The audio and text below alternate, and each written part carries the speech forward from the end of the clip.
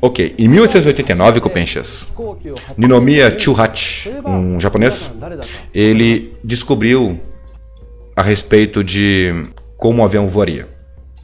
E em 1891, Copenchas, ele criou um pequeno protótipo, uma espécie de aviãozinho de brinquedo. Esse vocês estão vendo aqui, Copenchas. Ele fez dois modelos desse tipo aqui, que voavam.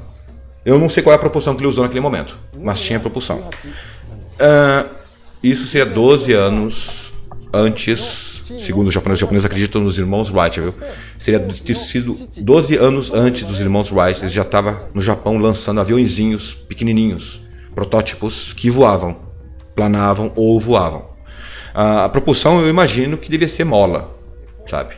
Inclusive ali no videozinho à direita, Copenchas, vocês podem ver um rapaz que fez uma réplica, hoje em dia, exceto de um aeromodelo, e que voa. Cara, eu fiquei bolado, sabe? O cara em 1891, sabe, bem antes de Santos Dumont e os irmãos Wright, ele já tinha aviãozinhos de brinquedo, de brinquedo não, eram protótipos, né? Pequenininhos que voavam. E ele tentou fazer aviões grandes, Copenchas. Só que tinha um problema.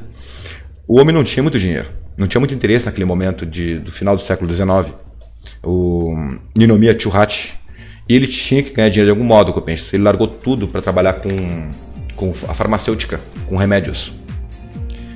Copenhague ele foi tão importante no Japão e tão reconhecido no Japão que esse daí é um museu, museu não, é um templo Copenhague dedicado ao avião lá em Yawata, Kyoto. Isso é o motor de um zero Copenhague, um avião zero da Segunda Guerra Mundial.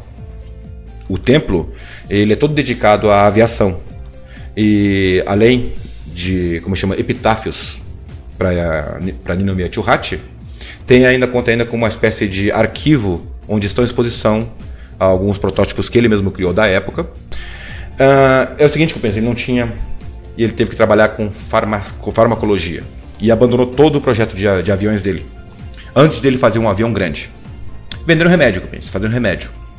Acho que nesse vídeo aqui que aparece os, a parte. Esse é o avião grande dele, viu, Copenhague, que ele chegou a montar. Uh, aí, ó. A Osakasei Yaku os remedinhos dele. E essas são as peças do, do, dos aviões que ele chegou a quase montar. Ele só não concluiu, isso mesmo, 1903 que eu penso, só não concluiu o avião dele porque quando ele começou a, a, a dar formato no avião dele, foi notificado no mundo que os irmãos Wright e Santos Dumont já estavam no ar. É, cara, eu não vou entrar nessa polêmica de Santos Dumont e os irmãos Wright, não, viu? Eu amo de paixão o Santos Dumont, cara. Eu adoro a história do Santos Dumont, mas não vou entrar nessa polêmica de quem foi primeiro, não. Esse protótipo que ele fez, que é dois palmos de comprimento, feito madeira, arame e tudo mais, uh, curiosamente não impressionou os militares na época, não se interessaram em fazer um, uma réplica maior, que era essa ideia do Ninomiya Chuhachi, certo? Mas o curioso era isso, né, Copinchas? Em 1889, 1889, ele já tinha todos os, os parâmetros para fazer um avião já tinha compreendido tudo: superfície, eixos, ah, enfim, ele já tinha toda uma base para fazer avião. Um ano depois ele fez o aviãozinho, como e como esse aviãozinho planava, os dois aviãozinhos que ele fez planavam, agora é só fazer um avião grande. Não deu. Curiosamente, eles fizeram há algum tempo um, uma réplica, só que com motor, um motor potente hoje em dia, e o avião dele voou, viu? O, o avião desse Ninomiya Chuhachi voa hoje em dia a réplica. Mas na, como não foi na época, não valeu.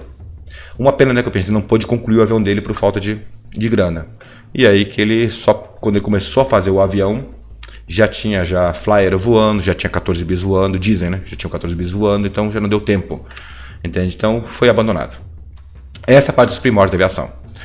E menção honrosa, Copinchas. Aqui vai a menção honrosa do primeiro voo planado no Japão, que ocorreu em 9 de novembro de 9 de dezembro de 1909, Copenhague, onde um, onde um francês, um francês, junto com um japonês, o Yves Lepreux, junto com Shiro Aiharu, Ai, Ai, é, é que é o seguinte, Copenhague, está escrito Aibara, mas o nome dele era Aihara Shiro. Esses dois, japoneses e franceses, montaram um planador feito de bambu e tela da Índia. E eles levantaram um voo em 9 de dezembro ou novembro, vai aparecer aqui. 9 de dezembro de 1909 em Ueno, Tóquio, sendo o primeiro voo planado do Japão. Como comemoração dos 100 anos, em 2009, a Universidade de Tóquio juntou os, os alunos para fazer uma réplica, eu já mostro para vocês. Sensacional, cara, eu não sabia disso. Aí, ó, a réplicazinha que eu penso. Isso em 2009. Chamaram os estudantes e, com base nos desenhos que tinham da época e as fotografias, recriaram um modelo em escala, certo? Em comemoração aos 100 anos desse voo planado, o primeiro voo planado, oficialmente, né, no Japão. Vocês vão ver agora um negocinho mexendo. Olha que legalzinho. Bem feitinha a réplicazinha. Ah, eu queria uma dessas. Isso tem poucas informações, viu? Não tem muito, só sabe que tem esse voo aí. Nem, no, pelo menos não achei ainda, ainda, né? Sobre quantos metros o, o avião verdadeiro com esse francês Le Preur, Le Preur e o, o Shiro Aihara, quantos metros eles voaram com esse planador. Hoje, penso, é só para poder responder a questão do Ronaldo Maciel, Portanto, Copenchas, uma hora dessa esse assunto vai voltar a aparecer aqui